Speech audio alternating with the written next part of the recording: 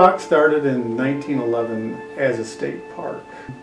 It was part of a, uh, actually a, uh, a bill, an act by the uh, Illinois legislature in 1911 to create Parks Commission and a state park. And Starved Rock was the first park uh, purchased uh, under that new bill.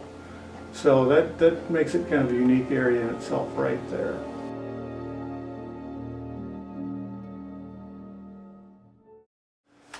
Starved Rock uh, got its name uh, from a battle that occurred uh, between two Native American tribes. Uh, the legend has it that the, Potawatomis and the Illini were fighting, and the Potawatomis uh, surrounded the Illini on top of Starved Rock, and uh, by the um, geological features of the rock, that they couldn't get access to food and water, and eventually starved on top of the rock. It is a legend. Uh, there are different uh, versions of the legend, but it makes a nice story and it makes a nice name for the park. So. Over the last 10 years, we've been right around 2 million visitors a year. The busiest month of the year is October, when the leaves uh, change colors and uh, you know nature kind of opens up its palette, as we like to say. That uh, people really like to come out and see the park in October, but it's it's almost a park for all seasons now because now we've got bald eagles in the winter time. And, uh, we had a very busy January and February this year, so there's um, there's something to see every time of the year. Now we'll be getting into waterfalls.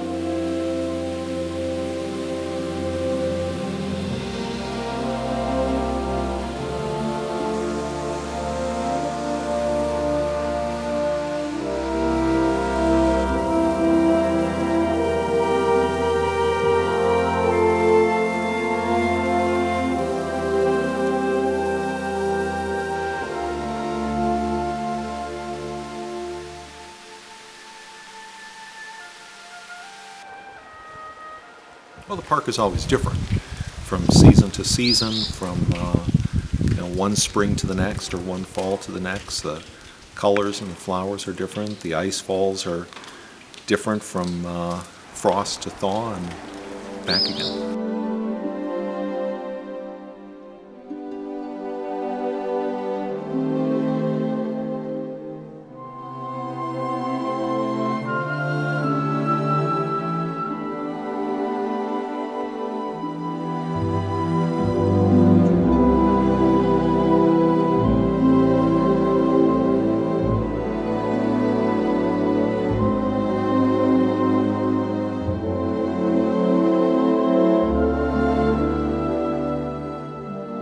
All seasons have things to offer. Every season's good. Uh, the best day of the week these days is uh, are the ones that end in Y, pretty much. I started out some years ago primarily doing macro stuff because I thought Illinois was only worth macro. And my opinion of that has changed considerably because Illinois has got a lot going for it beyond just macro. Detail's fine, but that detail of, say, a harebell or some flower is just what it is. It could be in your backyard, it could be here. And so when you're in a special place like this, it's good to get the context, the soul of the place if that's possible. So that's what I'm after. Whether I do it or not is, who knows. That's what I'm trying to do lately.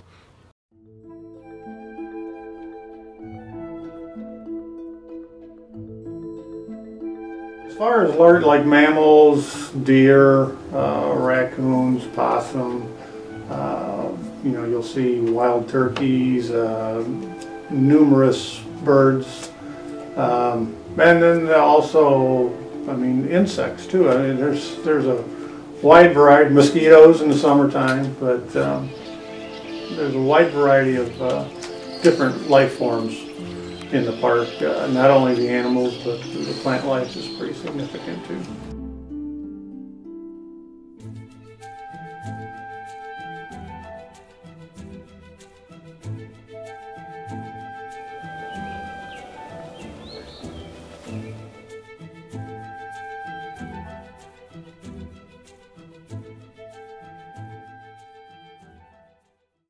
The biggest attraction is, are the hiking trails and, and the canyons and the Illinois River. Um, not really to be too far seconded by the Bald Eagles. There are 13 miles of hiking trails. Uh, the trails, as far as trails themselves, it's kind of broken into two major categories. There's a river trail, which runs along the river, and a bluff trail that runs the bluffs, uh, mostly overlooking the river and the tops of the 18 canyons throughout the park.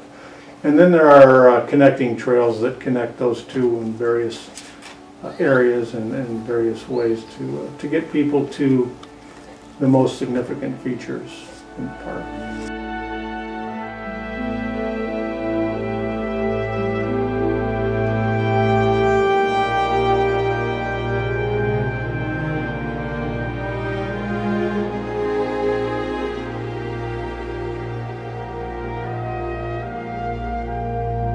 There have been some cutbacks in the budget. Some of our buildings and roads are starting to show signs of significant wear. And those are the types of things you kind of cut in a bad budget year. And, uh, you know, if you do that enough years in a row, you've got a, you've got a big problem on your hands. And kind of getting to that point. We've been able to adjust operations here at the site to, uh, to really not lose services. Um, and, you know, that's kind of what our entire nation's facing, so, you know, we continue to do the best we can with what we've got and make adjustments, uh, reasonable adjustments as, as necessary. It's happened. Uh, years ago, it happened quite often. Uh, we've made a lot of improvements as far as railings and things like that to bring, bring those incidents to a minimum, but it's, uh, it can still be a dangerous place, so. you have to pay attention to the signage, the trails, and, and stay on the designated trails. Because of the 18 canyons, uh, some of them, the deepest one being 90 feet deep, um, and then the Bluff Starved Rock being over 100 foot above the Illinois River, there's always a fall risk. And when you get off the designated trails and get into areas that uh, that you're not familiar with or that haven't been um, manicured to be uh, hiked on, uh, you're running a risk of falling.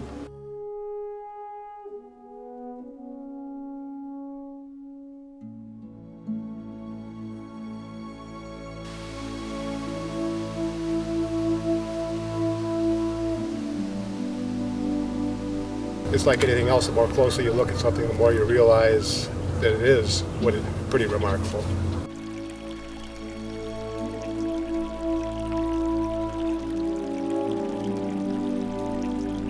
Forget you're in Illinois.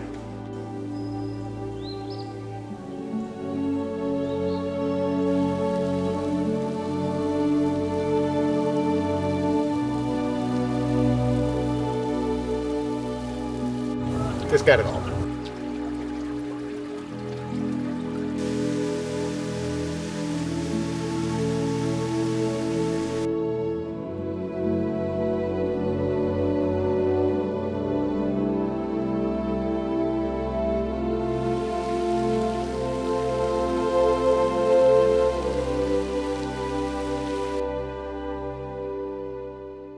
It's good.